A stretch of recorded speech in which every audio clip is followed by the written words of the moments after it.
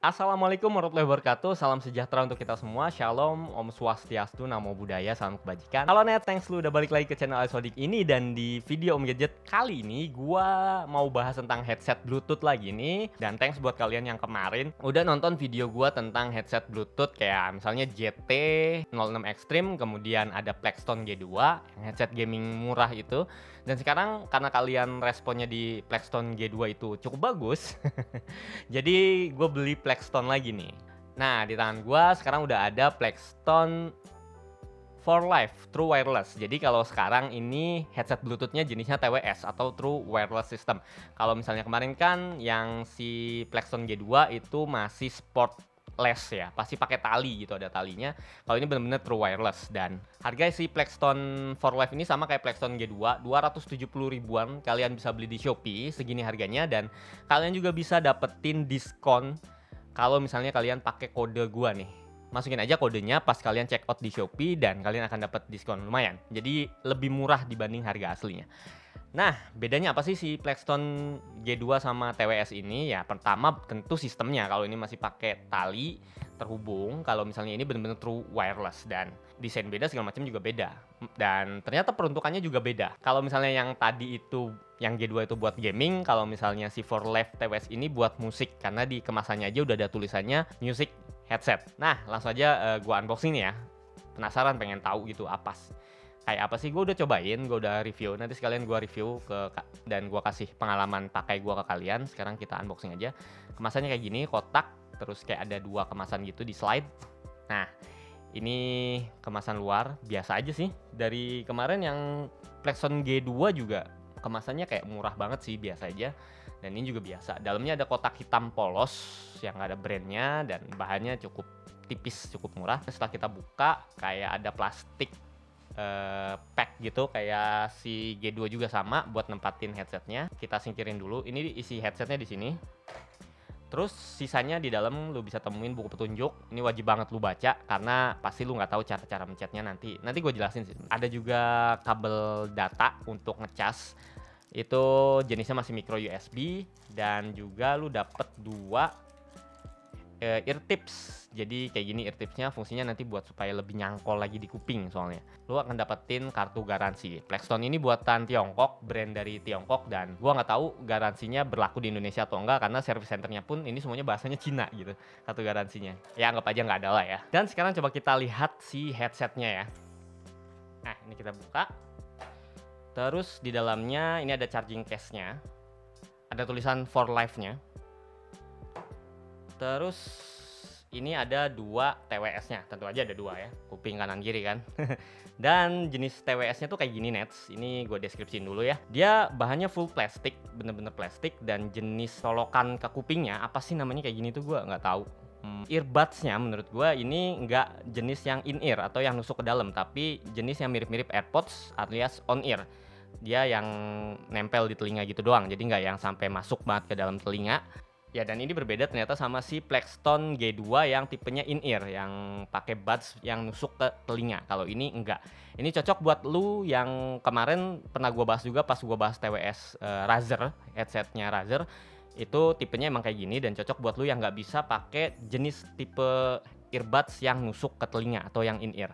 Nah ini cocok banget karena banyak loh ternyata teman-teman gue yang kayak gitu yang cuma bisa pakai kayak gini. Ini bagus dan cara pakainya tinggal gini aja, tempelin kemudian kanannya juga tempelin Nah, ini kalau misalnya kalian ngerasanya kurang fit atau kurang misalnya nempel ke telinga kalian, kalian bisa cobain buat pasang eh, karet atau earbuds yang tadi ada di kotak kemasannya yang putih itu, itu akan lebih kayak ada gripnya lagi ke telinga kalian. Nah, kalau misalnya menurut kalian kayak gini fine-fine aja, yang gak usah dipasangin si grip karetnya itu. Terus cara nyalainnya, ini dua-duanya masing-masing ada tombol, satu buah tombol yang multifungsi buat semua-muanya dan tinggal lu tekan aja bagian kirinya dulu. Ya, kemudian lu tekan sampai bunyi lagi bagian kanannya. Nanti setelah sekian detik yang kanan sama yang kirinya itu dia bisa nyambung sinkron sendiri. Nah, sekarang tinggal kalian konekin ke handphone kalian. Nah, nantinya di handphone kalian kalian tinggal lihat aja namanya kalau di handphone gue ya itu BT doang tinggal klik sinkron kalau udah connect di headsetnya bunyi di handphonenya juga ada notifikasi kalau udah terkoneksi sama notifikasi baterainya udah berapa persen jadi bisa ketahuan kalau misalnya ini mati atau enggak gitu Terus uh, fungsi dari si tombol yang satu ini yang multifungsi juga bisa buat banyak hal. Yang pertama ketika misalnya pencet ini kan ada kanan kiri ya, ada dua tombol. Kalau misalnya tekan sekali, baik yang kanan maupun yang kiri itu buat play atau pause. Jadi klik play atau pause. Atau misalnya kalian lagi nelpon karena ini ada mic-nya masing-masing di kanan kiri, ini bisa buat nelpon juga. Tekan sekali buat jawab panggilan dan tekan sekali lagi buat nutup panggilan. Jadi end dan answer call. Terus tadi play next ya kalau di uh, sedang nonton uh, sedang dengerin musik di Spotify atau misalnya bawaan di Spotify bisa, Jux bisa, uh, YouTube Music bisa atau player bawaan dari handphone juga bisa. Tekan dua kali yang sebelah kiri itu untuk uh, previews previews ke lagu sebelumnya tekan dua kali yang sebelah kanan itu untuk next ke video uh, musik selanjutnya. Kalau misalnya ditekan tiga kali fungsinya berbeda. Itu kalau yang sebelah kanan ditekan tiga kali buat naikin satu tingkat volume. Kalau misalnya yang sebelah kiri tekan tiga kali untuk nurunin satu tingkat volume. Jadi kalau misalnya buat nurunin lebih banyak lagi ya tekan tiga kali yang banyak. Satu dua tiga. Satu dua tiga satu dua tiga gitu. Agak ribet sih tapi menurut gua tombol fisik kayak gini ini selera ya. Kalau menurut gua gua lebih suka yang tombol fisik kayak gini. Kenapa karena lebih memudahkan lu gitu. Misalnya yang udah-udah kayak di AirPods atau misalnya di Realme Buds Air itu kan pakai tombol fisik ya. Kadang-kadang suka nggak sengaja kesentuh aja udah nge nek sendiri atau play atau pause sendiri. Kalau misalnya ini karena fisik mesti bener-bener ditekan baru dia fungsinya keluar. Jadi ini cocok buat lu yang nggak mau accidental touch terjadi atau nggak sengaja kepencet. Ini bener-bener harus dipencet itu sih menurut gue keunggulannya kalau pakai uh, tombol fisik. Nah itu. Terus sekarang kita bahas charging case-nya. Ini bentuknya cukup bagus. Ini kayak uh, oval gini doang dan mirip-mirip AirPods lah tapi warnanya hitam gue suka. Dan ada tulisan for life di atas terus dia finishingnya berbeda. Kalau misalnya bagian penutupnya ini finishingnya kayak uh, doff tapi kasar. Kemudian kalau misalnya yang bagian bawahnya ini nih gue suka banget halus banget gitu. Finishingnya kayak pakai karet tapi bukan karet sih dia doff doff halus gitu kayak ada pelapis. Enak lah pokoknya karet. Terus di bagian belakangnya lu bisa temuin ini ada port micro USB buat ngecas sama ada tiga titik LED buat nunjukin uh, indikator dari baterainya. Jadi apakah dia udah penuh atau habis baterainya. Terus buat ngecas ya tinggal masukin si headsetnya ini ke dalam chargernya jangan ketukar kanan kiri ya. Nah ini karena magnetik langsung nempel kayak gini aja dan dia akan otomatis ngecas gitu. Terus e, baterainya seberapa awet sih? Gua nggak nemuin di nggak tau e, di kardusnya tentang seberapa besar baterainya. Tapi yang jelas untuk nyetel musik si headset ini bisa nyetel sampai 3 sampai 4 jam dengan volume 50%. Kalau volumenya sampai 100% ya bisa berkurang gitu ke kekuatan baterainya. Sedangkan untuk ngecasnya pakai charging case ini itu butuh waktu satu jam lebih nih Nets, bisa sampai satu setengah jam lah. Jadi cukup lama dari 0 ke 100% karena mungkin memang teknologi chargingnya masih rendah ya, namanya juga headset murah jadi kalian harus bersabar.